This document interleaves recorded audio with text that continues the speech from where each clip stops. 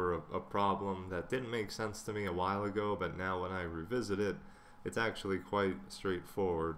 And I think it's a pretty common sort of technical problem that, that people like to ask about um, the coin change problem. And there are a variety of ways to solve this, but as I was looking at the Roman numeral problem again in the context of, of taking a course on refactoring in Python, it occurred to me that it was the same problem. We just didn't have a use of uh, a set of symbols to analyze. So really what it is, you have a bunch of coins, we'll write that out, you have some change you need to make and you want to do so minimizing the number of pieces. And, and this just means you essentially want to dispense the change how you would if you were a cashier. So you're not going to give somebody 117 pennies, you would give them a dollar, a dime, a nickel, and two pennies. So, and again, that's a greedy algorithm. Greedy just means that at every step of the way, it just looks for a locally optimal solution, meaning it, it doesn't really consider the rest of the problem. It just considers what can I do at this moment. And when we write it out, you'll actually see um, what that means. We're solving various little subproblems without regard for the entire problem. We just pass the rest of the problem back to the function for it to solve once again. So we're going to do this recursively. So when you say pass it back to the function to solve once again, that implies recursion. So uh, let's make our coins at least. So we have coins, that's going to be, we got pennies, we have nickels, dimes, quarters, no 50 cent pieces, then we're going to go to uh, the dollar, the five dollar, and you know we're not going to make we're to make change for like maybe um, like 433 or something. So we're not going to need to go past five. Why would we give somebody a five when we only need to give them four dollars? So that already tells you some of the reasoning behind solving this problem. If, if we need to make 433, um, you know, we kind of want to start by saying, is 1 less than that number? Yes. Is 5 cents less than that number? Yes. Is a dime less than that? Yes. Is a quarter less than that? Is a dollar less than that? Is $5? No. So that's actually a value we need to keep track of. So, you know, for the most part, just make a function out of it. So we're going to say coin change or maybe just return change. And what it's going to do, uh, an amount to return. So we're going to have to return an amount like $4.33. And we're going to have we're going to have our coins. So, you know, I'll just add the coins to the uh, to the function as default there. And basically what we're going to do is we need to go over all the coins and two things can happen, right? Let's say that somebody wants 25 cents back. So if we find that we need to return 25 cents and we have a coin for 25 cents, we just want to return that, right? So that's actually the simple case. And the other thing we need to do is if, if the coin, as we go through all of our coins, and I specifically sorted them from low to high, as you'll see, that's very important if uh, we see that the coin is less than the amount, we want to keep track of that coin, but only while it's less than that amount. Like if we're returning 430 and we finally get to 5, we want to remember that the maximum was 1. That was the locally optimal solution at that point in time. So really what we're going to do is first we'll handle the really simple case. So for C and coins, if c is equal to the, uh, the value we need to return, well, return c. And what I'm just going to do is put that on that line there and make it a little shorter to read. Now the other thing, so if c is less than the amount that we need to return, then we need to set something that monitors the value of c. So what you can kind of do here, what I like to do to keep track of some kind of other value that gets set within a loop, maybe you could say like flag, and I'll set it to none up here. So if the, the value of the coin as we iterate over all the coins is less than the value that we need to return, and keep in mind we're not going to break out of this loop for seeing coins, we're just going to conditionally set a value. We're going to set it on that condition. We're going to set the flag equal to the coin. So now let's step out of this loop. So after, let's say we're, we're talking about it, we're using $4.33. Flag is none for seeing coins. The first condition doesn't matter. We don't have a coin that's worth $4.33. Now let's check out this condition. If C is less than 2 return, flag is C. So let's just return the flag for now and see what that really what that really does. So return change and try to figure out what that's going to return. That's going to return a 1 because it was the highest amount that we could start grabbing to make change for $4.33. So after we get a dollar, we need to say to ourselves, well, what's left, right? We have a balance, right? So I'm going to create a variable called just, you know, temp balance. And that's going to be a function of our original value to return minus the flagged value. And I'm going to round that just to the second, just so we keep it keep it consistent. So now let's just return the temp balance. So the temp balance, that should give us 433 minus 1, which is going to be 333. Okay? So now really all we need to do is we need to say, okay, how much do I have to return? Well, I have to return 333.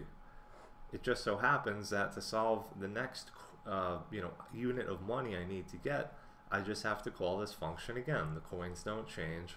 We're not going to have a restriction where we only have two quarters and one dollar. So, and you could, you could keep track of a global variable called number of pennies and number of nickels, and you could write some code in here to, to decrement the, the count of those and, and change coins uh, that you have, and that should handle that. But we need to basically call return change on the temporary balance. Now, this is the part of recursion that's a little bit tricky because you have to think about as the uh, as the recursive return value continues to kind of pile up, what are you doing? Are you adding a big string together? Are you adding a series of integers together? Are you adding, you know, what, what are you adding?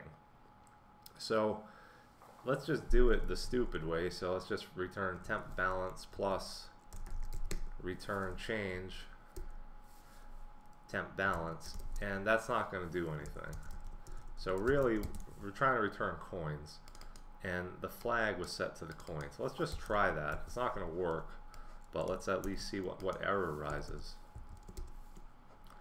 right so 433 so it did return the flag which was 1 and then it kept you know so it, it did return the money we needed, but we didn't see what coins we wanted. So the way I kind of ultimately dealt with this was I wanted to return everything in a list, like a list with a 0.01, a list with a 1, a list with a, a nickel, or whatever. So what you can do here is instead of returning the value and adding integers, because keep in mind we're returning the flag plus the next version of the function call, let's return the flag, which is the, the local optimal coin to return. And in Python, you can just put something in a list and it'll be a list or an iterable of one element. And then you can also do the same for that. So if we do that, it should return this nested sort of thing. So, and this kind of highlights what the recursion is actually doing. So at first, you know, it, it's a 1 then it's a 1, then it's a 1, then it's a 1, and then it says, okay, now after that, I just need to return 33 cents. So it goes through. It says, is a, is a penny less than 33? Okay. Is a nickel less than 33? Okay. Is a quarter less than 33? Okay. Is a 1 less than 33? No. Oh, so flag is at 25 cents. Let's do 25 cents. Now, what do we need to return? Well, we need to return 33 minus 25, which is now 8. Okay, is one penny less than eight cents? Yes. Is five cents Is, uh, you know, 5 cents less than 8 cents? Yes. Is 10 cents less than 8 cents? No. Okay, so we need to do a 5. Now we need to do uh, 8 minus 5, which is 3. And it continues to go through and it realizes that we need uh, another set of 3 pennies. So in this case, it's actually cool. We do see all the coins. Uh, the interesting thing here is it returns a, you know, a highly uh, nested iterable. And that's cool because it actually does help you see what the recursion is doing. Like if you grab one, right? Right, so you have two levels to it. So we need to take out, we need to kind of flatten this. And I, there are a lot of ways to flatten arbitrarily nested lists in Python. But I thought I would, um, I picked up on this solution in Stack Overflow and I, I liked it because it was interesting. It wasn't like a common a common solution. And let's step through it. So just a function that's going to flatten a, uh, let's just make a, uh, you know, result equals that. We'll look at the result. And the interesting thing here is flatten. It, it's figuring out whether to call itself recursively or not based on a try except block. So essentially for item in L, which is the iterable, try to yield from flatten the item. And basically, if you're calling for item in something, if it's not an iterable, it will raise a type error, meaning it's just an item already, right? So if I say for item in 4.55, yield item, or just whatever, print item, float object is not iterable, and see how it's raising a type error?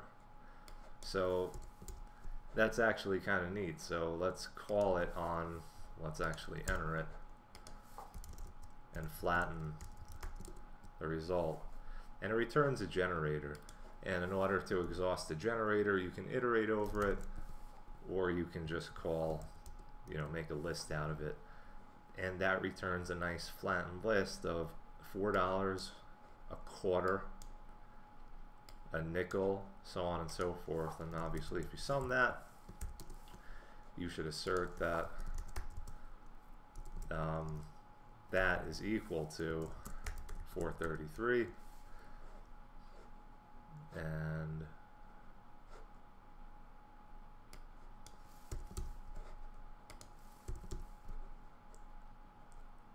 That's interesting. What is the sum? Aha, so you have a bit of round off error here. So you need to say round, and that's the problem with, with uh, languages like this. Sometimes, depending on the type of math that you're doing, it may not be precisely equal, so you may have to call round. But yeah, so that that's relatively simple it, the recursive solution works in the exact same way that a cashier is actually going to count up change that they need to dispense. And then this was a nice recursive solution that basically relies on the behavior of the object to discern whether or not you're nesting at the level of another list or you're nesting at the level of an actual item. So try to think about that. That's pretty cool. So, all right, hopefully that helps somebody out there in the universe, and uh, have a good day.